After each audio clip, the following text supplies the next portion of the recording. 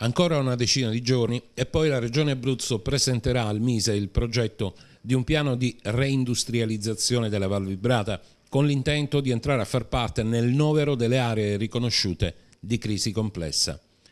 Per intenderci, oggi sull'intero territorio nazionale sono appena sette tali aree e quindi facile non sarà. Eppure, sul buon fine dello studio redatto dalla provincia di Teramo, con il supporto tecnico della Camera di Commercio e dell'Università Teramana, poi presentato alla Regione, crede la politica abruzzese, anche perché l'area della Val Vibrata non sarà sola, avendo la Regione Marche per l'area del Piceno avanzato analogo progetto chiedendo la stessa identica cosa.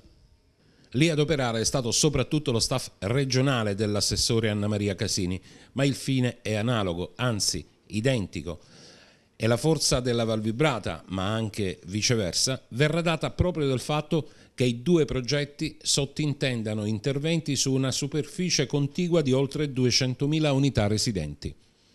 Di tal cosa è convinta la politica provinciale e regionale abruzzesi, ma crediamo anche quella marchigiana, che nel corso della conferenza stampa di stamane tenuta nella sala giunta della provincia di Teramo, alla presenza del vicepresidente della regione Giovanni Lolli, dell'assessore Dino Pepe, di Massimo Vagnoni, consigliere provinciale, del presidente CNA Lanciotti e di esponenti della locale Camera di Commercio, hanno esternato ottimismo, magari con un pizzico di moderazione che non guasta mai, perché comunque il progetto di interventi sull'area della Val Vibrata magari in maniera cautelativa, è pronto per essere adeguato a semplice area riconosciuta di crisi. Come dire, non è detto che.